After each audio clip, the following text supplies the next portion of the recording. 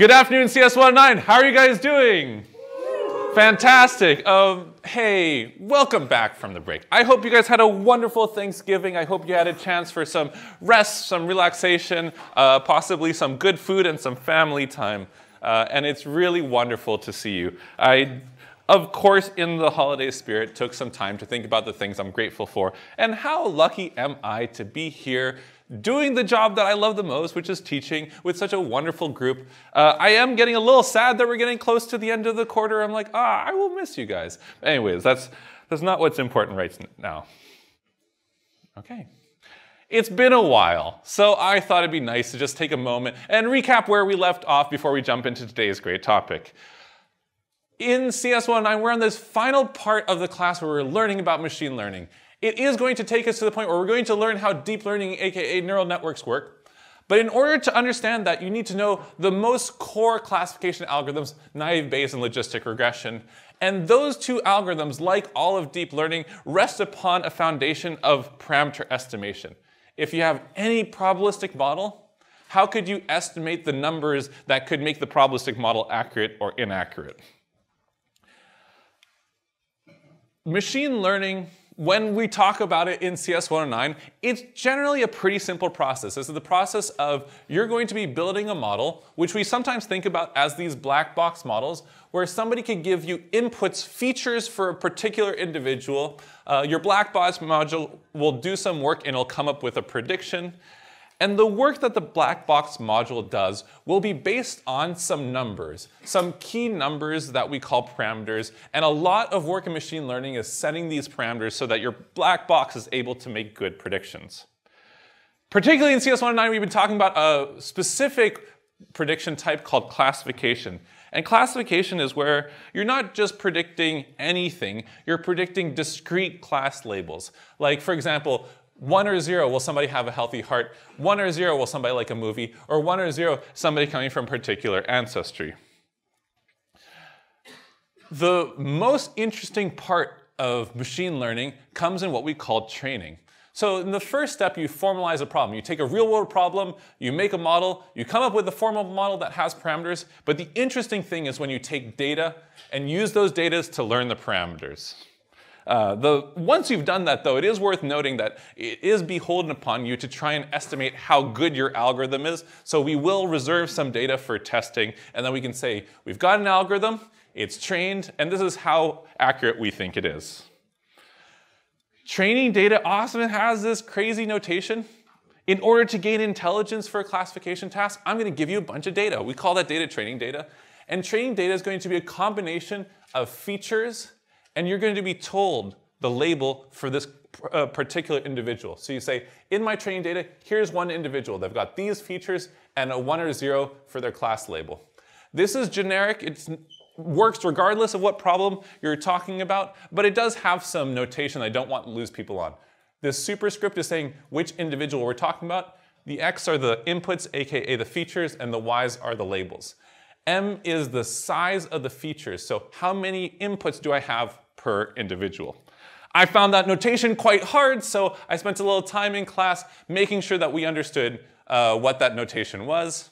Uh, and particularly, you know, if you have uh, an individual, we think of the x's as being the list of numbers for the inputs, and there'll be m of those, and the y being the prediction of healthy or not healthy. In training data, you're told both x and y, and the real interesting thing is to build a machine where you could just put in inputs and it would predict the y. Okay, maybe questions about you know, this general idea of classification before we jump into the one algorithm we've got so far, naive Bayes. Well, just before the break, we talked about an algorithm, how you could do classification. We said, okay, if you want to build this black box, we're just going to take some inputs and make a prediction. One way you could do that is you could make a little probabilistic model, and that probabilistic model is going to be able to compute what's the probability that y equals 1 given x, and the probability that y equals 0 given x. And then we're either going to choose our prediction to be 1 or 0. Classification has to give back 1 or 0 based on this probability. Very reasonable thing to do.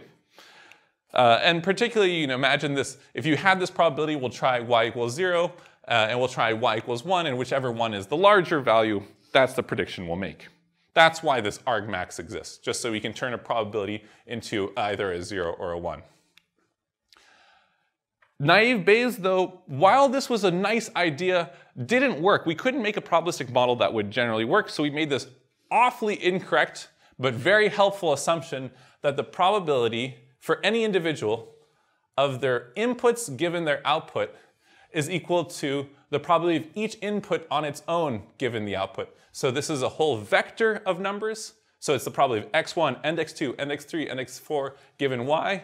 We're going to say that's going to be the product of each feature. We assume the features are independent of each other given the class label. Now this was the derivation and the naive Bayes assumption shows up right here. But importantly, you know, if you make this assumption, then you end up with a way to make your prediction. We use log probabilities because numerical, um, making sure it works on a computer is very important, and the product of a bunch of probabilities could become quite small. And you know, we do this derivation. It leads to this very simple way of how we can make our predictions. All these things are learnable. You are now tasked with, based on your training data, learning this probability, the probability that y equals zero, and the probability that y equals one. You also have to learn each of these probabilities. For every feature, what's the probability that each feature takes on its value given y equals either 0 or 1? Those are all very, very doable things. Uh, particularly if you want to learn each of these things, is just going to be counting. MLE says these are Bernoullis, so we can estimate these Bernoullis based, the probability P of these Bernoullis just counting. Then we went really deep into this MAP, this Bayesian way of parameter estimation, and it just ended up, if you had a Laplace prior, of being counting with a little bit of addition. So long story short, we have an algorithm. It's called naive Bayes. It uses this awful assumption, but it turns things into just counting. So training just becomes counting, and then predictions just require you to put you're counting through um, the particular function that we derived. So at this point, we have an algorithm, which is fantastic. But there are other algorithms. It turns out there's other algorithms that you absolutely should know because some of these other algorithms have changed the way that the whole world works of artificial intelligence. And we're going to learn about that today, but a little bit more background that's worth recalling is optimization. When we were talking about parameter estimation, one of the great ideas that we came up with was if you want to find parameters that maximize likelihood, you're actually doing an optimization task. You're saying, I'm going to want you to choose parameters for me, and I want those parameters to be such that the likelihood is as large as possible. And we figured out that this was kind of like an optimization task. And in order to do that, we said, you know, we can use hill climbing. Particularly, we could use gradient ascent. And gradient ascent tells you that if you can give me the derivative of the thing you care about with respect to each of your movable dials, if you give me those derivatives, then I've got a very simple algorithm to come up with very good parameters. So a little bit of recall, gradient ascent. Gradient ascent, gradient descent are uh, brother and sister algorithms. One could just be optimizing the negative of the other. And just to recall, you have a way of optimizing parameters for a likelihood function and its gradient ascent. Okay, so this wasn't that important. Okay, and review. That was a lot, but feel free to ask questions if you forgot something and you want me to recall it. This is supposed to be a conversation. In fact, what you're learning today, you're going to have to program in your problem sets and it's something crazy important for the world, so I want you guys to understand it deeply. I would like to invite you to ask the questions you're curious about because other people in class will be curious about it as well. It's time. One of my favorite things to teach, logistic regression. A very simple algorithm for making a classification prediction that is going to be very impactful because it is, in fact, the heart and soul of deep learning. If you've heard of neural networks or deep learning, it is a bunch of logistic regressions put on top of each other. So learn logistic regression, it is critically important. In order to understand logistic regression, we are going to be taking advantage of some of the parameter estimation we've seen so far. Okay. I know I just gave you a lot of review. I'm just going to give you a tiny bit more mathematical background because I don't want to lose people on some prerequisites that you might not have seen before. Well, this is less of a prerequisite, but it's just more of a cool thing to know.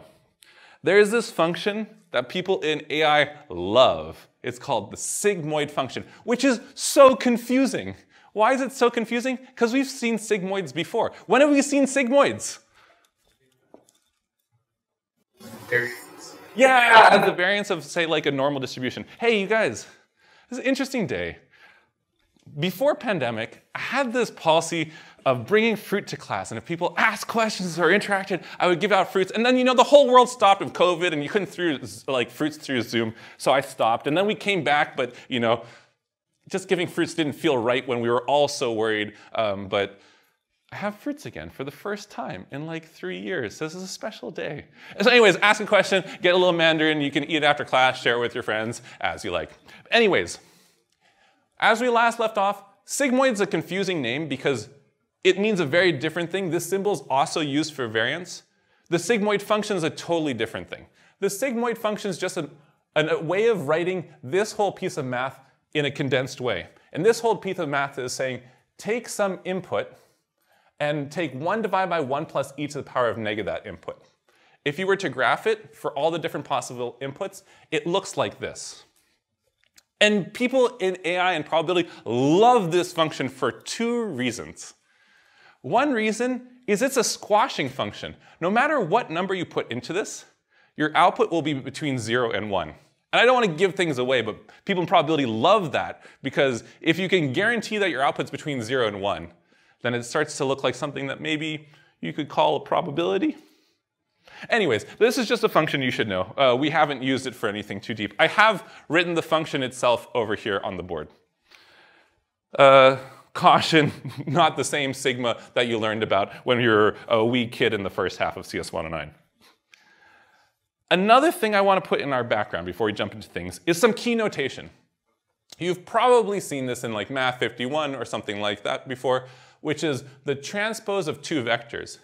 If theta is a vector and x is a vector, and they're of the same length, uh, theta transpose x is another way of writing this sum. It's saying take the first element of both of these vectors, multiply them together, then add that to the product of the second element, and add that to the product of the third element, and the product of the nth element. So this is really what that is saying, but you can imagine these three are three different pieces of notation for writing the exact same thing. It is saying an element-wise product and then the sum over uh, the sum over the element-wise product. Again, I wrote that over here. You know, theta transpose x is this sum. You'll notice on the board, I actually had this starting at zero, not one. It depends how you index your lists, but I'm going to start indexing by zero in a little bit, which you'll see when we get there. Any questions on this notation? Don't get lost on notation. Why would you want to get lost in background? Um, anything confusing, or what is confusing about this? Just want a Mandarin? Anybody just want a Mandarin? Yeah. I just want to make sure I clarify. Is the is theta a matrix or a vector? It's going to be a vector. So if theta is a vector and x is a vector, so x could be like, for example, this is generally true if x is a vector, but maybe it could be a list of features. Okay, and we're going to try something because I'm afraid of breaking camera. We're going to pass this back. Okay, fantastic.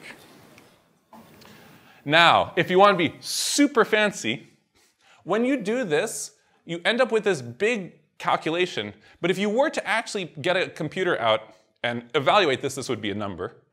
And because this is a number, you can put it into that function. So you could take this calculation, take the number that results, and put it through the sigmoid. Uh, notationally, if you did that, you could say that's the sigmoid of theta transpose x, um, which would be the same as the sigmoid as that, or the sigmoid of that. These are three different ways of writing the same thing. Um, or you could just put that number into the sigmoid itself. Okay, a little bit of my notation, but that's just abstract. Like we haven't put this into any uh, point of our derivations. Okay, some background I put on the board. Keep it in mind, and if you have questions later, ask me. Oh, the chain rule. Man, I remember when I learned this in math, and it wasn't motivated at all. We're like, just gonna learn calculus, and because we were learning calculus, you needed to know the chain rule so you could do the things that were on the final. I wish my math teacher had told me this was the idea that would mathematically change the world. Like the chain rule is the reason that we can stack things that are derivable on top of each other and have neural networks learn through the whole thing because computers can do the chain rule. It's crazy important. But anyways, the chain rule says, you know, if you have some function and you can decompose it, uh, you could say, if f of x, you want to derive it with respect to x, if you can decompose this into saying like f is actually some other function z of x, uh, you can do f of z with respect to z. So, you know, reference how this function changes with respect to its input, and then derive f of z, or z with respect to x. Just want to recall this, but I think if you haven't seen chain rule, A, please do watch your favorite Khan Academy video on the chain rule. Um, and second, I will show you it in action, and you should particularly make sure you understand chain rule in the context I talk about it today's class. Okay, I'm so excited. We've done our hard work. We've done our review. We've done our background. It's time to have a big party and learn about logistic regression. Chapter one, the big picture. We want to invent the next classification algorithm. In classification, you're gonna be building a machine where you put in inputs and it makes a prediction. And we decided that a really good way to build this machine would be if we could calculate the probability of the output taking on the value 1 or 0 given the inputs. If we could know that conditional probability, we could make a really great machine. Naive Bayes tried to do this. And in order to do this, it made this really big assumption. You know, the probability of each feature given y being the product of each feature on its own given y. It's helpful, it made the math really simple, but it's definitely wrong in some cases. It's not always true that the features would be independent of each other given the output. But the simple idea that is going to drive all of today is a bit of a light bulb moment. What if we just allow this to be a bit more of a machine that we construct? What if we just build a machine that could directly figure out the probability of y given x? And that was the simple light bulb idea that led to logistic regression. The simple idea was, okay, we've got our x's. That's going to be a list of ones and zeros. We have to predict our y. That's either going to be a 1 or a 0. And the simple idea of logistic regression is, well, what if we just constructed a machine that took those x's and predicted y. And we allowed that machine to be you know, a little bit more flexible than, say, something that had to be a naive Bayes model. And particularly, people started using this one specific machine. They said, okay, I'm going to build a machine where I'm going to take each of these numbers, my machine is going to have a weight for each number, I'm going to weight each number, sum them all up, sum up all those weighted things, and then I'm gonna get a number which I'll squash, and I'm gonna call the squash thing the probability that y equals one. Craziness. Let me give you that picture in a little more detail. Logistic regression assumption is, I'm just gonna build you a machine that's got some parameters in it that are movable. You're gonna choose great values of parameters such that your machine when it takes in x's, just outputs things that are close to the probability that y equals 1, given those particular inputs. Here, I, I, think this machine is so important to understand. It's one of the most important machineries to get your head around, so I spent some time trying to make this machine look a little prettier than just that equation. People said, okay, you're gonna take your inputs and you're gonna predict whether or not y equals 1. So you want the probability that y equals 1 given your inputs. We're gonna have a probability producing machine. Take all your inputs, and every input is going to go through this channel where it gets weighted. It's going to be weighted by parameters. And then every channel, once it gets weighted, is going to come into big summation unit. We're going to weight each channel and then sum them together. You could call this sum z if you wanted. Now, when you take in inputs and you weight them, and you sum them together, there's no guarantee that this looks anything like a probability. So then what we're going to do is we're going to put it through a squashing function. And this squashing function will take this number and make it look like a probability. And then the craziest thing is we're going to interpret that as the probability that y equals 1. Craziness. I use this metaphor of a soundboard where each of your parameters are movable dials. And you can move them to change the thetas, and that would change how your machine works. Okay, in my cartoon, just to be clear, these are the inputs. You know, you could have a everything you're making prediction of will come with a list of inputs, and we're just gonna set the machine to start out with whatever those inputs are if we're making a prediction. For example, if you're predicting whether or not somebody likes a movie, the inputs could be yes or no, did they like other movies? The output is also in this case going to be a one or a zero, and it's going to be yes or no, did they like the target movie? And we would like it so that this machine, when you take an individual and you set whether or not they like these three different movies, once it's weighted those ones and zeros, summed them up, put it through its squashing function, we would like the probability that comes out to be as close as possible to the true probability that this individual would like that movie. Can I be clear about something? Is this how the world really works? Is there something true about the universe that, like, when probabilities are being produced, it actually underneath the hood, the universe is making this little machine and um, you know pushing these inputs through these weights and then squashing it? No, there's nothing realistic about this. It's wrong. Why would we use a wrong model? Because it turns out this wrong model is very useful. So we're gonna make this little machine, and the most beautiful thing about this machine is it's going to end up being a Lego block, and we'll be able to stack them on top of each other. But I'm getting ahead of myself. Yes, question? Where are the coming from? Good question. I haven't told you yet, but it's gonna be really important. If I put random thetas, I've got a random machine. But my claim for you is if some you know, Oracle came and gave you the best setting of thetas, then maybe this could be pretty reasonable. But your question is, where did they come from? Oh my God, I'm gonna tell you ahead of time. It's gonna come from parameter estimation. But, but, but, but, but I haven't told you that. Don't, you know, here you go. I never heard it. Okay, question and question. Uh, does it return 1 if the squashing function just returns a value more than 0.5? So yeah, the squashing function is going to give you a number between 0 and 1. And yeah, we are going to say like, if it gives you a value of 0.8, we're going to assume that's, that's the probability that y equals 1. And if the probability that y equals 1 is greater than 0.5, we're just going to predict a 1. Okay, yeah. So at the moment, it seems like our sigmoid function is kind of just an arbitrary choice. Like if we want to get a number between zero and one, like I might have just taken the average of. Like so, isn't our result heavily dependent on the arbitrary choice of the squashing function?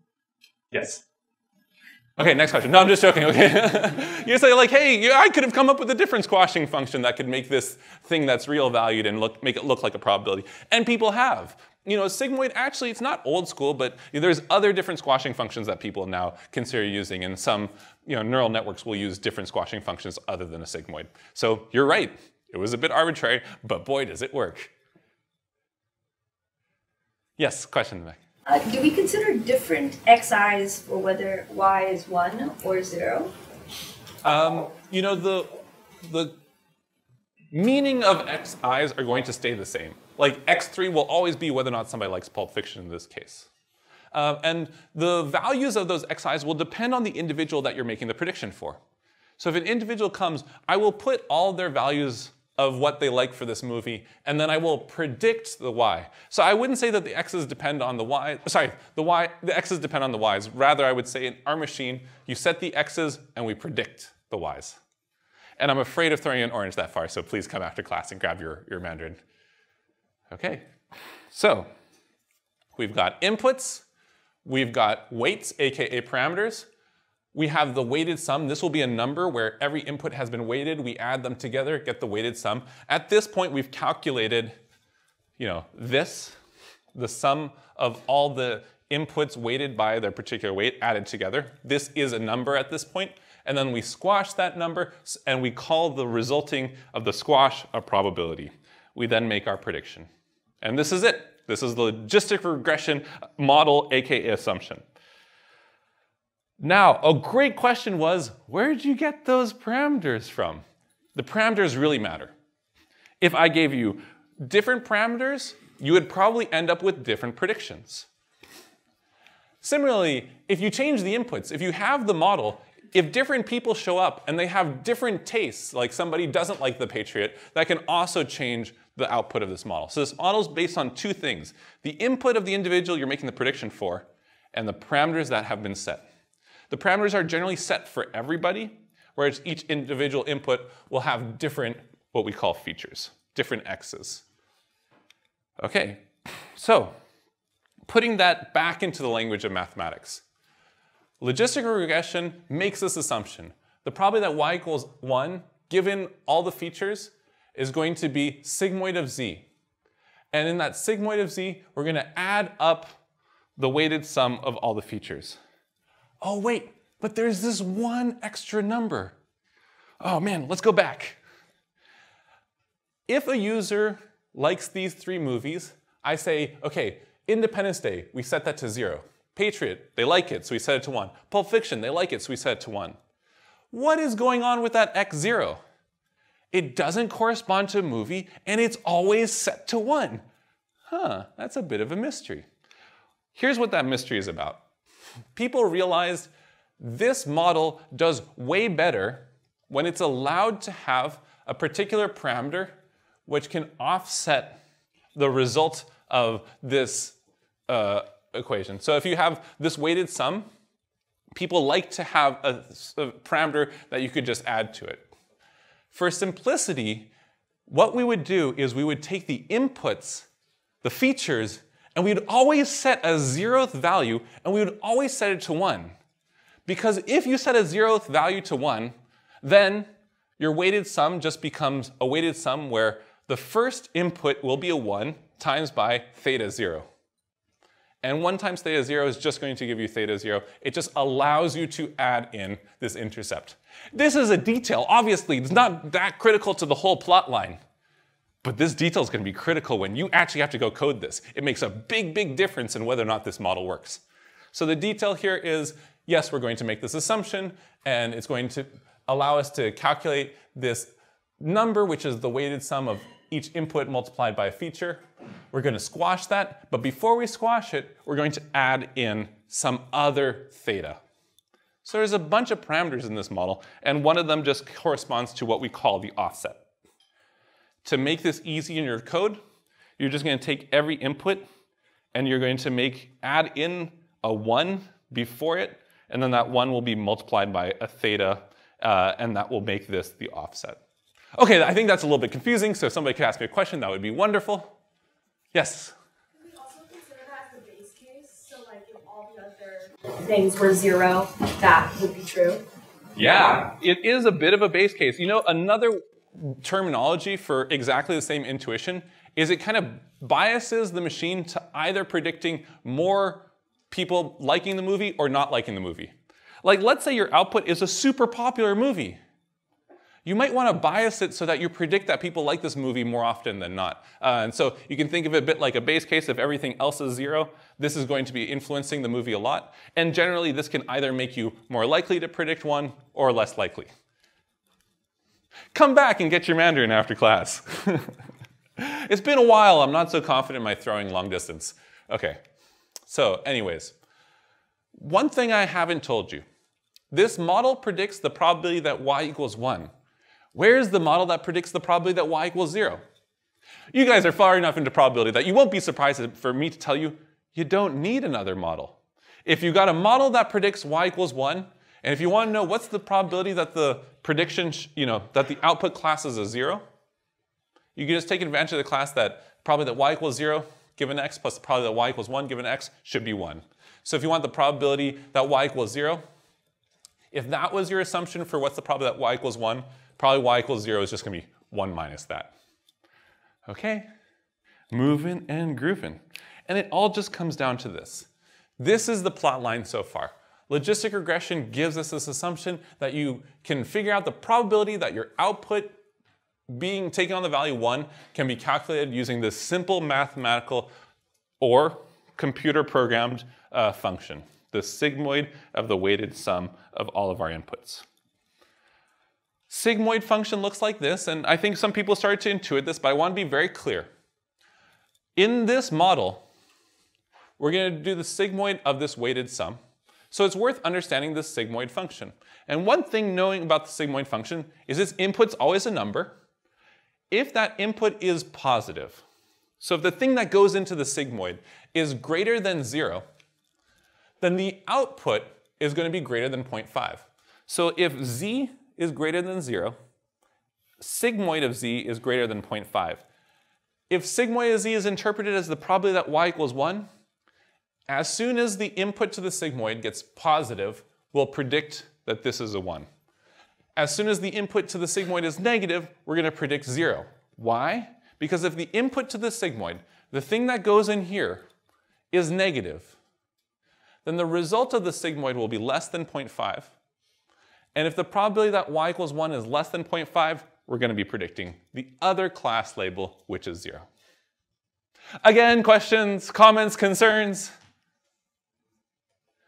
As I said, this is how we're going to define one neuron in a neural network, so it's worth getting your head around. So, if you have the weighted sum, um, why do you even need to put it into the sigmoid function if you already know whether or not it's going to be above or below 0.5? Such a good question. So just to say that back to you, you're like, hey, if I wanted to actually program this thing up, could I just get this weighted sum and then just check if it's positive? Forget the rest, and if it's positive, I predict a 1. If it's negative, I predict a 0. You're absolutely right for the prediction. But when it comes to the other part, training, this theory is going to be very helpful because it will tell us how we can update. Um, and you know, even though you're right, you could also still use this mechanism if you want to tell somebody not just a 1 or a 0, but you say, this is a 1 with probably 0.99 versus this is a 1 with probability, you know, like 0.55. So you might want to give more information to the user where this is still useful. And also for the other theory, we're going to need this. Ah, so close. no one was hurt for people watching online. Yes, question. function on each uh, theta times xi and sum that up. No, I don't think that would give you the same answer. It's not So- linear. Yeah, it's it's this thing. The sigmoid function to get really mathy is this thing called nonlinear. So you can't do a sigmoid of each theta j times xj and then add those up. That would give you a different number. Yeah, good question. But That turns out to be a really really useful thing when you start putting these together. So what is now annoying will later be useful. Question. So just zooming out a little bit, it seems like this method is for the most part better than naive Bayes because it you know makes an assumption that doesn't sound as crazy. Okay. Um, is, yeah. is that usually the case, or does it really depend on the situation? And if so, how do you know which one is better? Okay, good, good, good, good, good. So the question is, hey, naive Bayes made this assumption that we thought was crazy, and this feels better because the assumption isn't as crazy. Which one is better? It turns out in most cases where you're either using logistic regression or naive Bayes, they're often pretty similar, and it turns out the decision is more often defined by do you have things like continuous inputs? Like when you start to break out of binary values, then one tends to be more useful than the other. But right now, if everything's binary, they look very similar. Um, the naive Bayes assumption generally is pretty good. Why wouldn't this be as good? Like, why wouldn't this just like blow the pants off of naive Bayes? It's still making assumption. Like, this isn't the naive Bayes assumption, but it's a pretty simplistic assumption. Like, probabilities in the world are nuanced. Maybe there's much more complexity that goes on to how y ends up being 1. Uh, and it, it's not just this simple uh, linear sum thrown through a squashing function. Good question. Yes?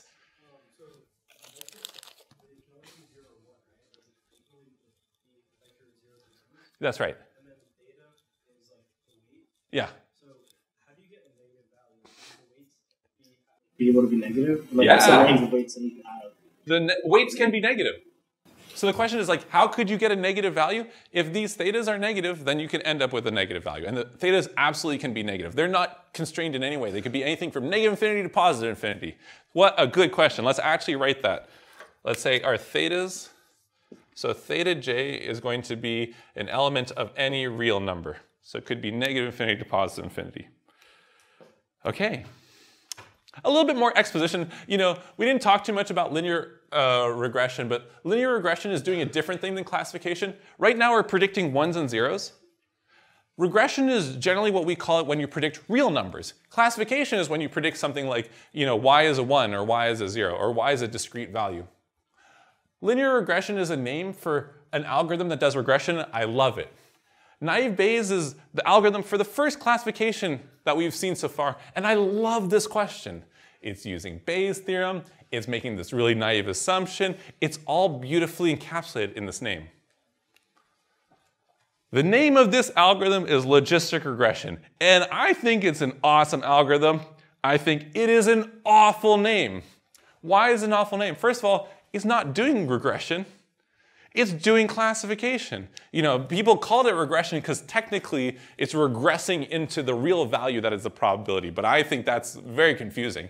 Uh, and instead of using the term logistic, logistic is technically a parent name for a sigmoid.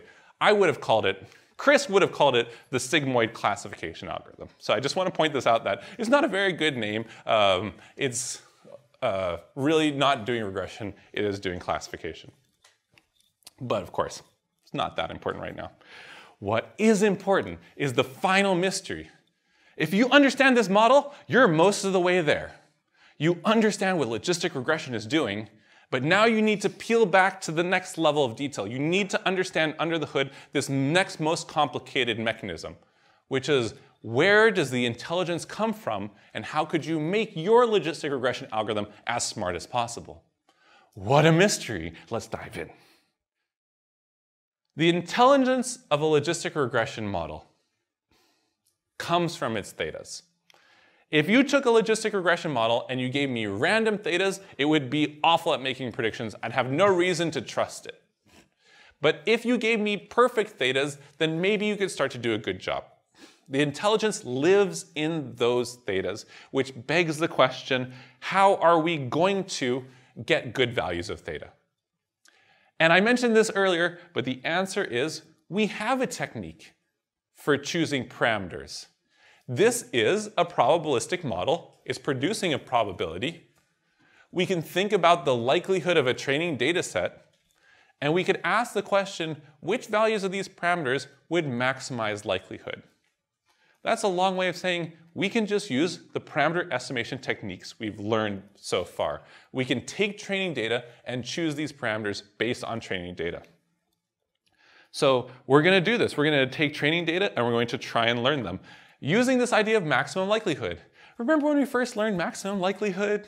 I said, oh, imagine we're trying to estimate the parameters of a normal distribution, and I give you data points and you can try and choose the parameters that maximize the likelihood of those data points. We came up with a nice way of doing that, and that's exactly the idea we're going to use for choosing the parameters. I'm going to do something a little bit different though. Today I'm going to focus on what's most important for you for your problem set, which is what are the results of the mathematics. Once you understand how you could use those results, then we're going to derive them. Does that sound good? So we're going to start with the endpoint. We are going to use maximum likelihood estimation. We're going to start with the logistic assumption that for any data in a database, for example, or a training data set, the probability that the label takes on the value 1, given the features, is going to be sigma of theta transpose x. That's a logistic regression assumption. And of course, that also means that we assume that the probability y equals 0 is just going to be 1 minus that. Those are our assumptions. Based on those assumptions, we could call this uh, some measure of the probability that, or this is the probability that y equals 1. Then we can take training data set and we can figure out the likelihood based on this assumption. And once you get the likelihood, you can get the log likelihood. And then what we're going to do is we're going to be able to figure out how we get the derivative of log likelihood. Now, you're going to later in class understand the mathematics for how we got this equation. You'll understand the mathematics for how we got this equation. But before we drive into any of that mathematics, you need to understand the plot line. And the plot line is, we're going to make this assumption. Then we're going to say, based on data, I can say how likely does that data look under a particular set of parameters, and that's this function. So if you gave me any data set, and you gave me a particular setting of parameters, I could put those two things together through that equation number two, and it will score it. You'll score your parameters and say, you know, these parameters are making the data look really likely, or these parameters look pretty bad. I can now tell the difference between random parameters and smart parameters. Because smart parameters would make training data look really, really likely. Again, we'll understand this later. I want to make sure people understand the plot line. This in itself is a scoring function. It doesn't tell you how to get good thetas, so that's where the derivative comes in. I make the assumption, I figure out a way to score your parameters, and I say, you want to choose good parameters, pal? You give me the derivative. And not just any derivative, I want the derivative of your score with respect to every parameter you might be changing. We'll be able to calculate that numerically. We'll come up with an equation for it. And this equation is the thing we give to our optimization algorithm. At this point, we're happy to hand this over to gradient ascent, and we say, choose the values of theta that maximize this scoring function, and hey, I know gradient ascent, you really want derivatives, so I'm gonna give you some derivatives. So at this point, we're willing, ready to give things over to optimization, and optimization will start changing values of thetas. It'll start coming up with good values of thetas that'll eventually make the score really high. A question though. Convex?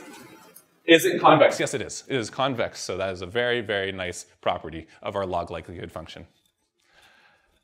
Okay, plot line questions. I had a similar question, and I was wondering, uh, are we doing this because uh, because the logistic is a sigmoid, so it only has one maximization, but then last it's a context, you know, I'm confused rather. Yeah. You know, I I mean, just to go back, we're trying to choose these parameters. And the idea of convexity would suggest that maybe there's really easy ways to choose these parameters um, that didn't require going to gradient ascent.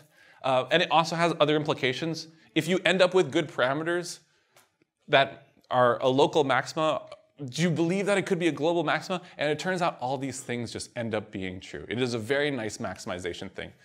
If you end up running gradient ascent, if you get to a peak, I can guarantee you it's the global peak. It's not just a peak, it will be the top of the mountain. Um, and I'm just wondering, like, say for example, you have a problem where it maximizes and then it minimizes. so if it maximizes the score, which we use the likelihood function for, if you find some thetas that maximize the score, they'll be good. And they'll be the best thetas. The, the optimization algorithm won't actually return you back bad thetas. Good, good question.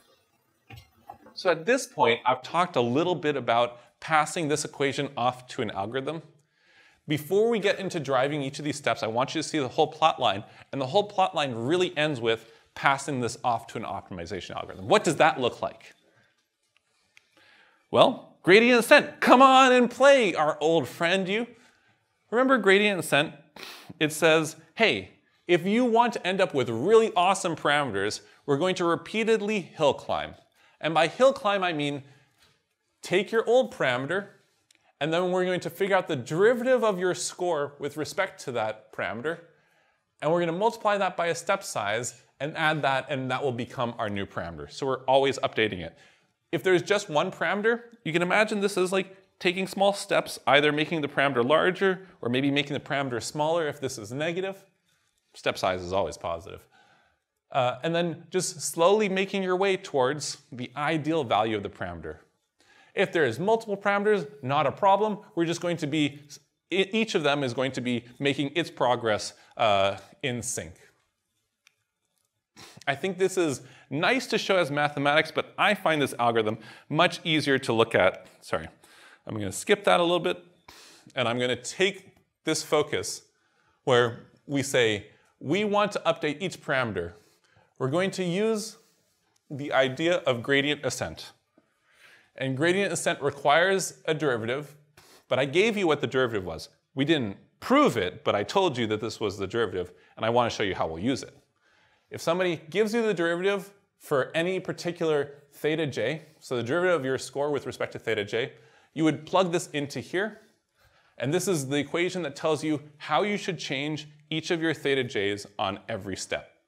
It says, as you're trying to get up this mountain, on every step, update every theta. Take the old value, calculate this complicated thing. You can have Python do that for you. It'll come back as a number. And that number, when you multiply by step size, we're going to use that to change the value. The old value will get modified by whatever this derivative is. And we'll put that in a whole loop. We'll loop this many times and the parameters get better and better and better. That's the promise of hill climbing. But while it's nice to give you the mathematics, I think it's a little bit nicer to give you pseudocode. The very simple idea of logistic regression is this is a two-step algorithm. First, you initialize your parameters, and then you optimize them. But that's too high level. Let's dive a little bit deeper. When you're optimizing them, you're going to repeat many times, taking a step. To take a step, you're going to calculate all the gradients, and then every single theta is going to be is going to be changed by the step size. This n is not the number of data points. This um, is the step size times the gradient of j. We're going to take all those gradients and we're going to store them into numbers. The gradients will eventually become numbers, and we want to calculate those actual numbers. That's kind of a, a wild thing, you know. We think about derivatives as being equations, but if you actually were to substitute all of your data points and all of your thetas, this wouldn't just be an equation, it'd be something that would turn into a single number. The derivative would actually be a value, um, a real value, and then we're gonna take that real value and store it into a variable. And we're gonna use that to update theta j. Of course, this requires that we can calculate that gradient. And calculate the gradient, you know, you're going to have to loop for every parameter. And for every parameter, you're gonna have to loop over all training um, examples, and then you're gonna have to actually update your gradient. And you know, using the equation we gave before, this is a pretty reasonable thing to do. You could take, you know, for every training example, you could calculate this term, sum them all together, that's your gradient. At this point, I don't want you to have memorized this. This will make much more sense when you sit down to actually code it, and you'll look at this and be like, okay, yes, I need to get my gradients. Uh, we've got an equation for gradients. I can calculate the gradient at each step point, and then I'm going to repeat many times, improving. But hopefully now I've shown you the whole plot line. You know, you've got, well, actually, okay, maybe I'll stop here. We want to become smart by getting great parameters. That's where the intelligence comes from. First, we derive a log likelihood function. That's a score. It tells you if your parameters are good or bad. Then we want to choose parameters that make that score as large as possible. So then we get the derivative. We calculate the derivative, and then we use gradient ascent to choose the values of the parameters that maximize our score. And that uses hill climbing, aka gradient ascent, which requires you to be able to calculate derivatives. So we needed to have figured out the derivative, which we did, and then this ends up being Python.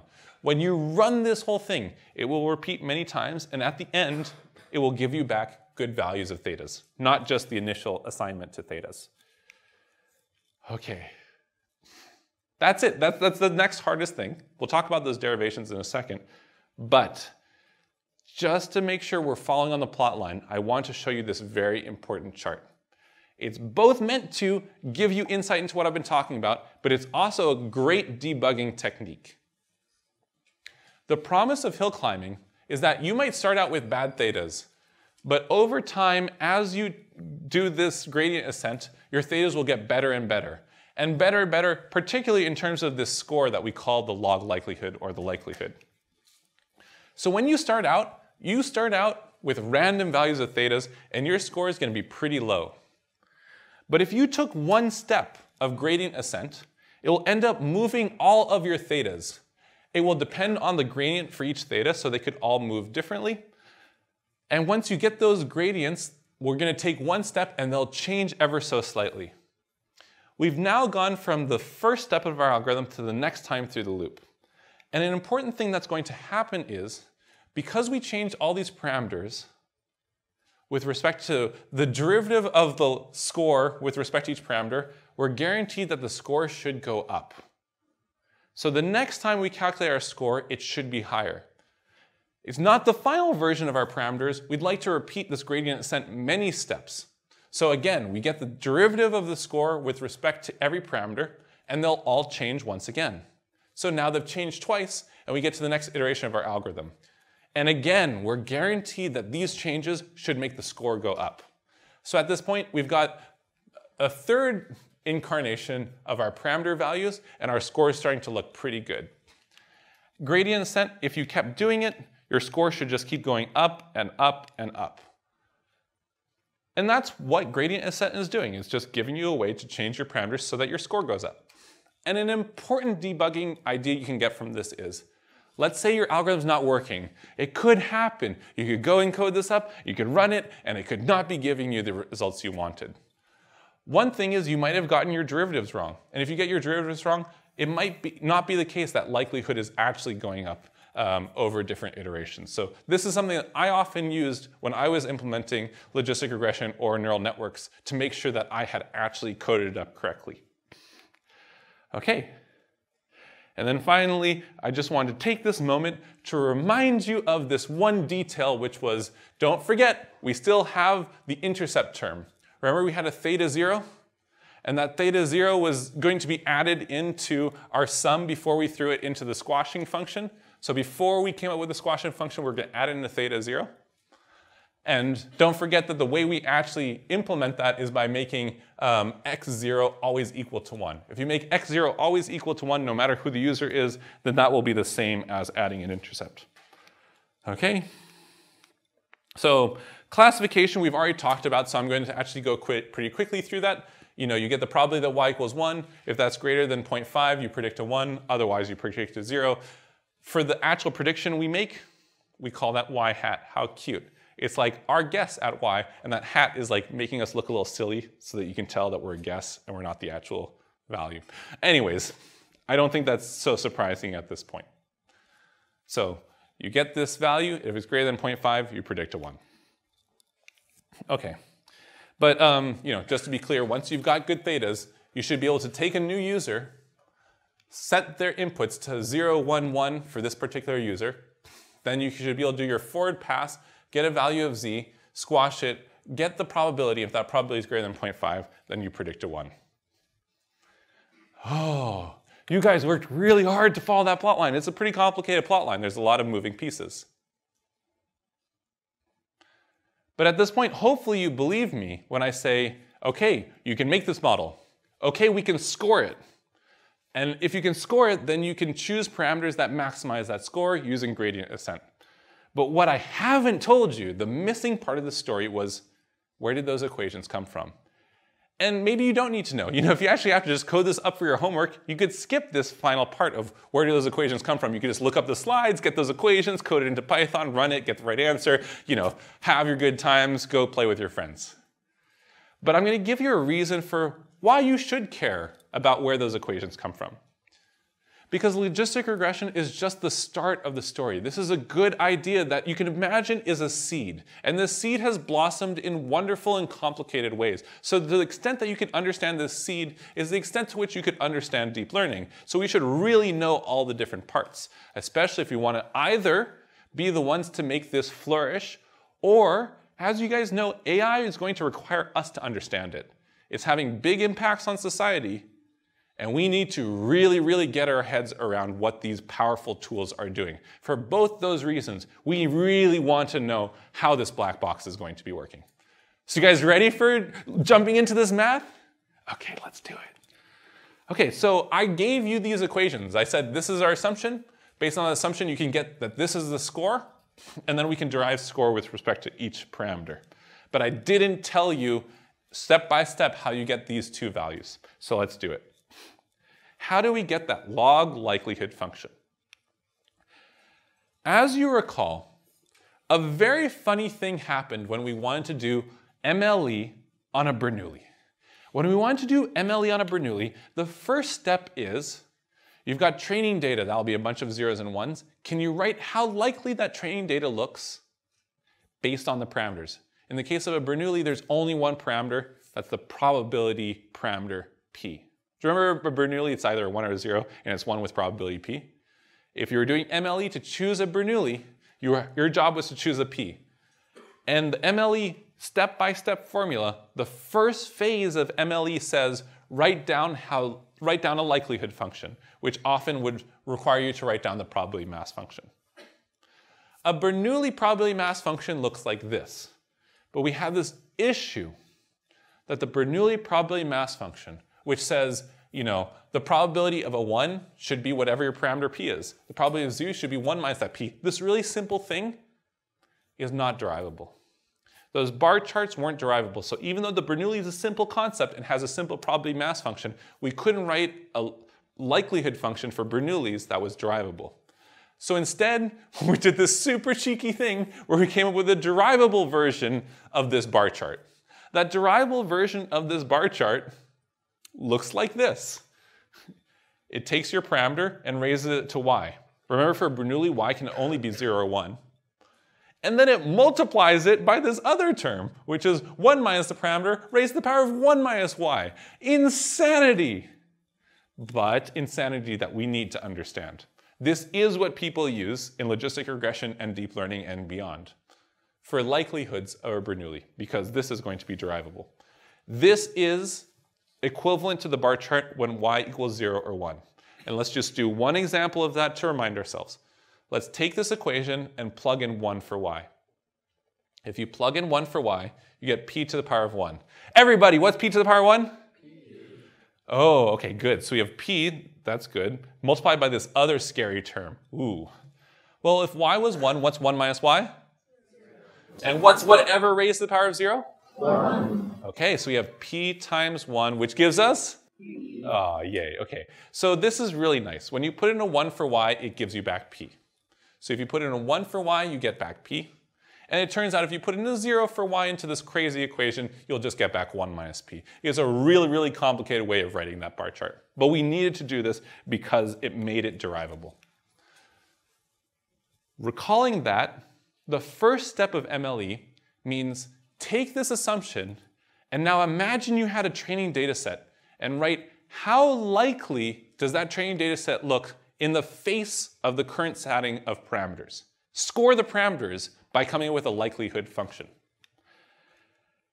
Imagine that you just had one thing in your training data point.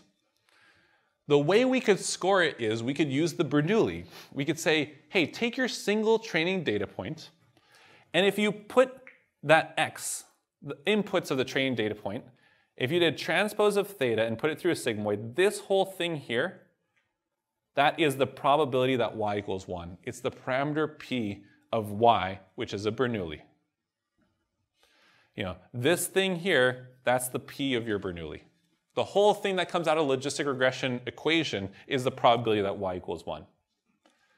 And if we use that continuous derivable version of a Bernoulli probability mass function says, you know, the likelihood that y takes on its value, which could be a 0 or 1 for a data point in your data set, given the inputs for that single data point is going to be p to the power of either the 1 or 0, that is y, times 1 minus p to the power of 1 minus the 1 or 0, that is y. So to be clear, your data point would have an x, and the x could be something like, hey, remember x0 is always a 1, always a 1, but maybe there's three other features and they represent whether people like the mo different movies and it could be a 001. And in this case, y is going to be a number 0 or 1. And theta, it's going to be a list which could be like, you know, negative 7, 2, 0, 3, which will be the ways that you weight x before you squash it and get the probability that y equals 1. And we're going to score this combination. You have your data you have your training data, which at this point is hilariously just one. How funny would it be to train a whole machine learning algorithm with one data point? No, we want a lot of data points. Why am I starting with one? Because the math is easier. So let's start with one. So if you have one data point and you, have, you want to score this theta, you would calculate the probability that y equals 1 based on these thetas. So you'd take this theta, transpose it with x, that gets your weighted sum, squash it, and that squash will give you the probability that y equals 1. And if you put that into this equation, for y we're going to substitute 1, because that's what the data point says. And that means we're going to ignore this whole thing, and we'll just be left with this term. So it'll just be the probability that y equals 1. So if our data point had a 1, this likelihood function will just return you back the number which is the probability your algorithm said that the data point would be 1. Take a moment and talk to the person next to you and see if you can ask a question about why that's true. Because I do want to stop here. This seems like if you can follow this, the rest will be just math. So talk to the person next to you, see if you can come up with a question. What's confusing about this, or what could I understand more deeply? Uh, take a minute and a half just to have a chat.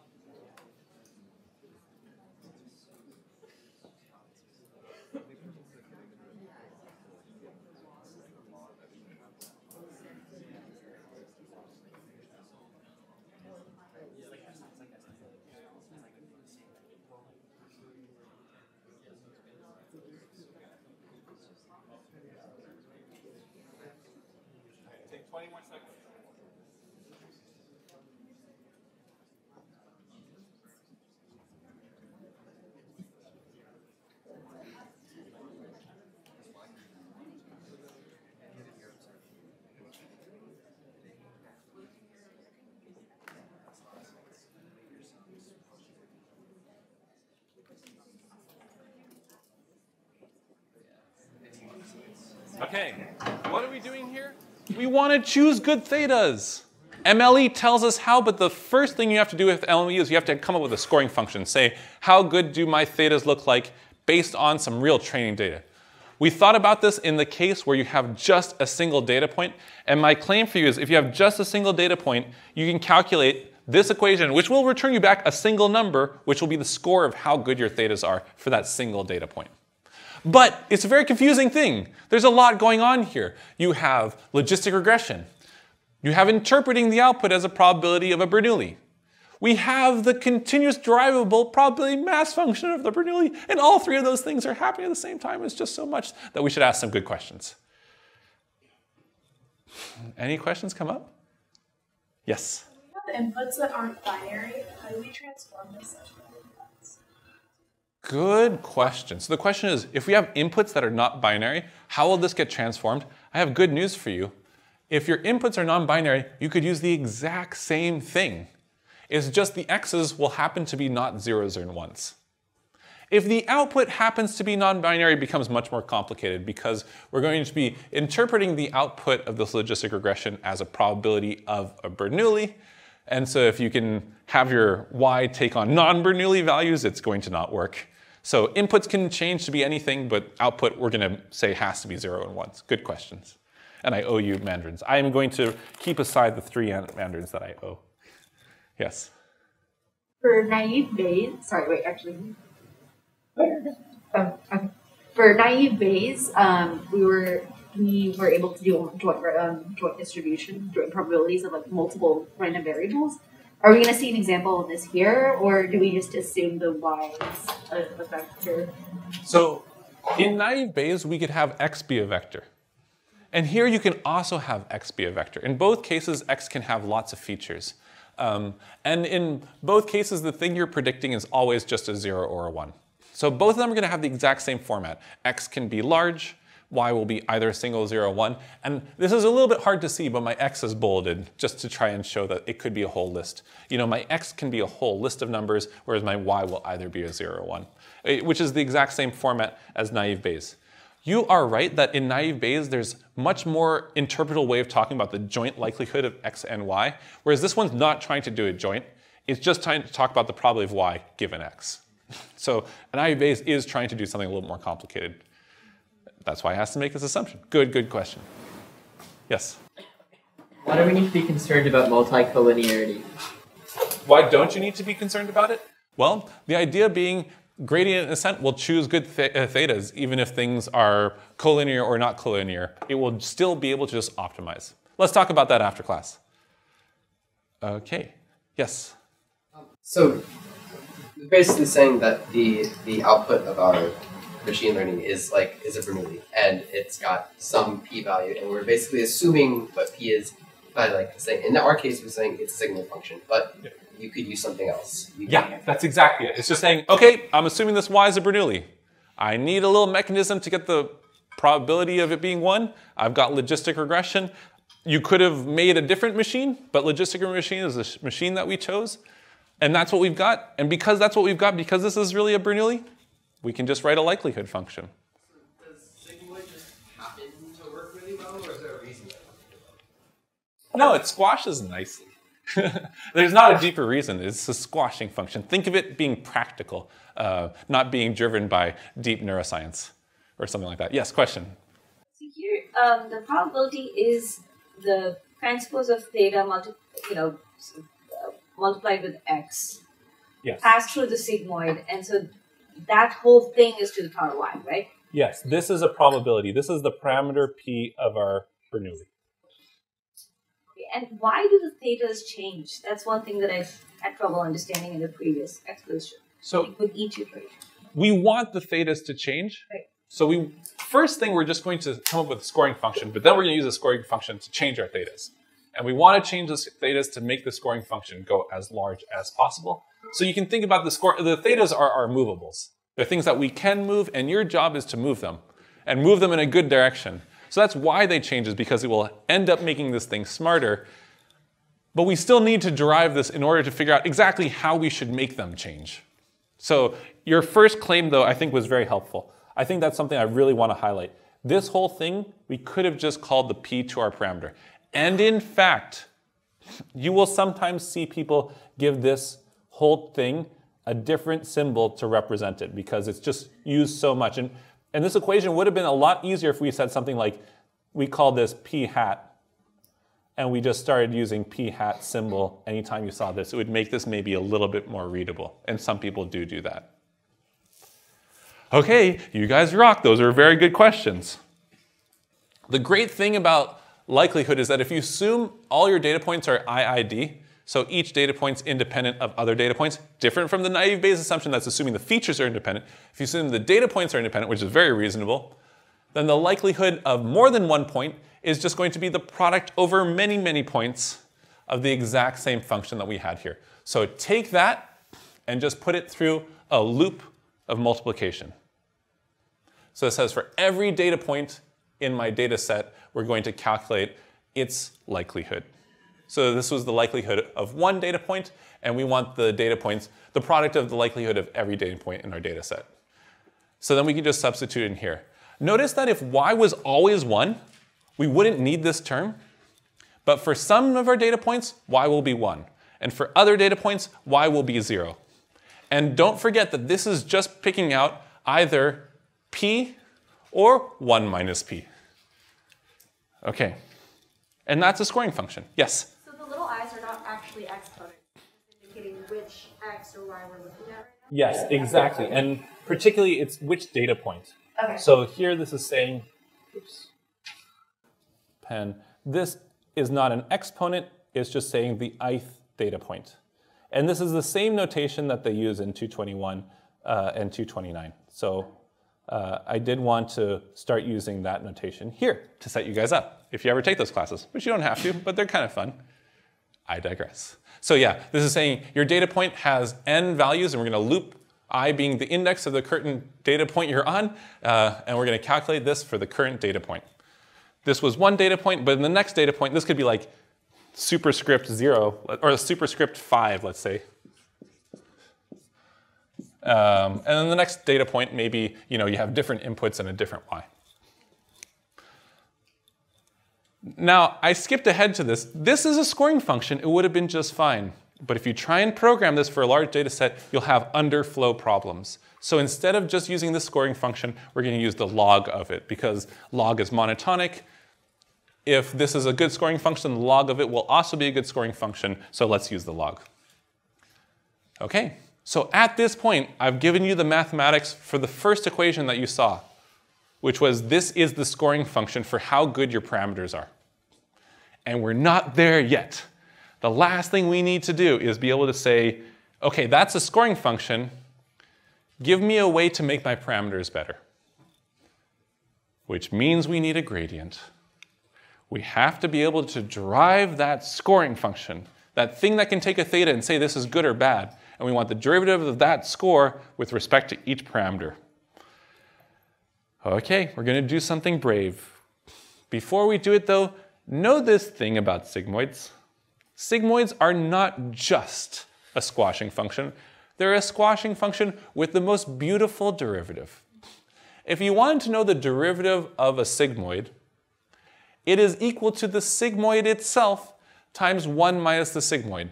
If you notice the sigmoid function has this natural base e, and as you know, natural base e is the very special number where if you had to take its derivative of e to the power of x, it has that nice property of not changing. For similar reasons, because sigmoid has the e natural base in it, its derivative ends up being very, very nice. This is gorgeous. That is another reason we use sigmoids, by the way. It's a squashing function with a beautiful, easy derivative. Okay. Whew. you now have a likelihood function. Oh, uh, before we do that, I just want to show you guys what this could look like using the sigmoid's derivative before we do any hard derivatives, or hard um, likelihood derivatives. So this is an aside. Welcome to my little aside. I just told you sigmoid has a beautiful derivative that's in the top right. And I want us to practice using the sigmoid's derivative. And particularly, I want us to calculate the derivative of this expression with respect to one of the thetas. Just as practice, just as warm up. What you should do is you should use chain rule. You should say, this is a composition of doing step one, this is step one, and then once you do step two, you, step two is to put this through the sigmoid function. If you have a two-step process, it's a good candidate for something you can break apart using the chain rule. Particularly, I'm going to say that z is going to be equal to theta transpose x. You know, z is just the input to the sigmoid. And so this is going to be the same as the derivative of sigmoid z with respect to z and the derivative of z with respect to theta j. As I said, you should practice chain rule. You should make sure you know it, watch the Khan Academy, and make sure you can follow exactly this example. Because this is the application that is most important of chain rule. Now, if you want to plug and chug, this derivative of sigmoid z with respect to z is just going to be sigmoid of z times 1 minus sigmoid of z. So sigmoid of z times 1 minus sigmoid of z. Remember, um, z is just theta transpose x, so sigmoid of z is that, and 1 minus sigmoid of z is that. So that is just that first expression. The derivative of sigmoid of z with respect to z is just sigmoid z times 1 minus sigmoid z. Done. And then we need this expression. What's the derivative of z with respect to a particular theta of j? And I'll tell you the answer right now, but let's understand why. If you're deriving this expression with respect to a particular theta, let's say you're deriving this, so the derivative of theta transpose x with respect to theta 5. Recall what this is. You know, it's theta 0 times x0 plus theta 1 times x1 plus theta 2 times x2. Where does theta 5 show up? Only times x5. The only part of this term where theta 5 shows up is when it's multiplied by x5. That's the only place. So if you derive this whole thing with respect to theta 5, it would be the same as deriving theta 5 times x5 with respect to theta 5. And if you're deriving this simple multiplication with respect to theta 5, what is it? Oh, you guys said it so timidly. Say it loud. I want to hear it. People in recording want to hear your voices. X5. Yeah, that's just x5. More generally, if you're deriving this with respect to theta j, it will be xj. So if j was 5, it would be x5. If j was 3, it would be x3. Okay, so a simpler way of writing the exact same thing would be is you could have declared this to be y hat, and this is just, you know, uh, sigmoid of z times 1 minus z times xj, which is the same as this expression times 1 minus this expression times xj. This is just a really cleaner way of writing what we derived before, where y hat is equal to this sigmoid of z. So sigmoid of z times 1 minus sigmoid of z times xj. That is the derivative. Okay, we don't have time for pedagogical pause. We took the question before. Are you guys ready? This is Stanford. We can do this. That is the thing that I want you to drive in terms of theta j. Bum, bum, bum. Okay, just go and derive it. Ah. We can do this. Here are a couple pro tips. This is going to be the derivative of a sum of the logs, right?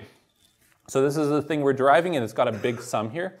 Let's start by just doing the derivative of one of these inner things because the derivative of sum is just the sum of derivatives. So if you can do the derivative of the inner part, your life will become really easy. The derivative of sums is the sum of derivatives. Just tell me the derivative of this inner part. So then my question becomes a little bit easier. Can you derive this? And particularly, anytime I see a sigmoid of theta transpose x.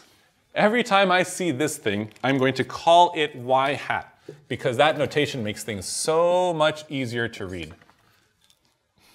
And if you call that y hat, then this is going to be just derive this with respect to a theta j. You're like, where are all my thetas? Oh, don't forget the thetas are actually in the y hats because the y hats are actually this expression. So they're still there, but that's the derivative we're trying to do.